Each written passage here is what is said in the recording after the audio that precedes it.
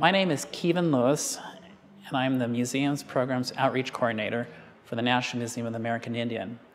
At the museum, I oversee the Artist Leadership Program, which targets individual artists for the Western Hemisphere. It also targets museums and cultural centers here in the United States and Canada.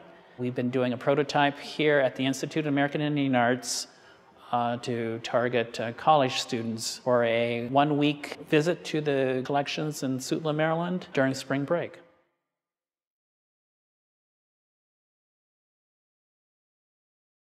My name is Tania Larsson. I'm Gwich'in and Swedish.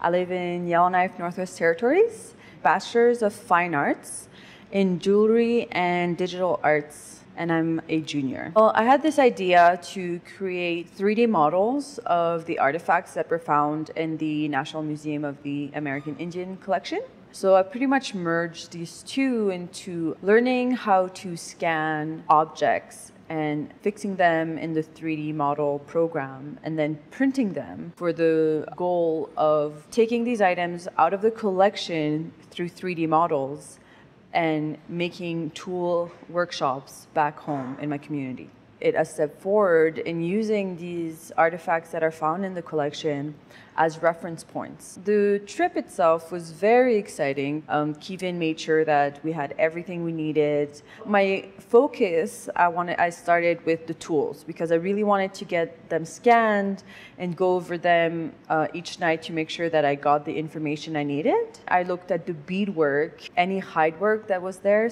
There was a lot of huge trade beads, necklaces.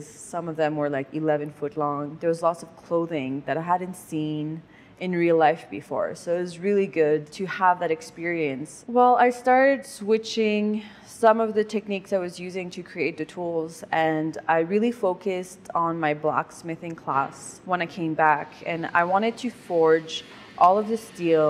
So you take different types of steel and you stack them and you forge weld them, and then you twist it or create a pattern within it. Well, in the foundry, I was um, sanding some steel down because I was about to etch them. And then I was also forging some, um, taking a piece of metal, putting it in the forge and shaping it. It takes a lot of work to forge steel because there's lots of welding and uh, forging and then grinding and sanding down. I definitely spend many hours doing that just to achieve like a few tools. Uh, after what I've done, I need to sharpen the edge to a certain amount because it shouldn't be too sharp. And then I'm going to etch them and then I'm going to polish the top so that the lines, the black lines on the bottom, really contrast with the lighter lines of the different steel. Then I'm going to attach it to a handle so that people could use it to scrape height.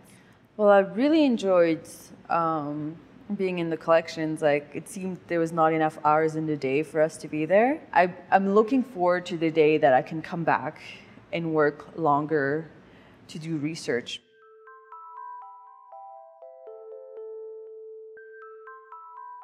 I wasn't sure what to expect when I went to NMAI, and they have the most amazing facilities um, that is really has been created with an indigenous perspective.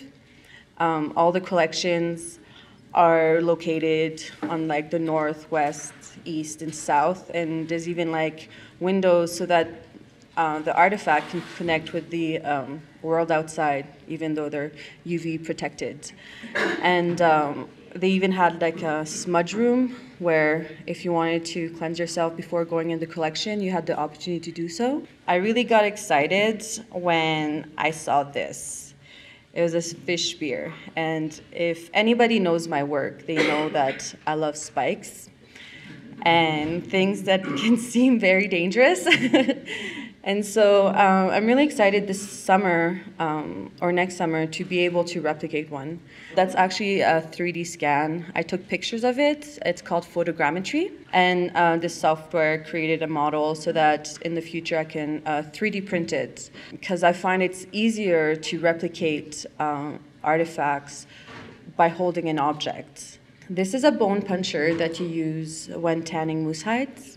I did photogrammetry on it so that I could have the opportunity to 3D print it. I actually had this terrible experience involving a bone puncher in the past.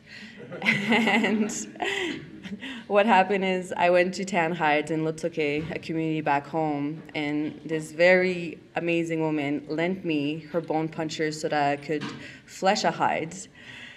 And because I was silly and inexperienced when it comes to learning my culture, I left it unattended for a few minutes and her dog got a hold of it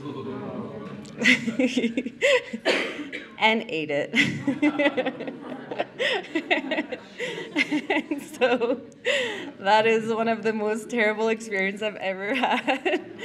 and so I really wanted to be able to have a um, model to make her a new one. so that's why I scanned this um, object.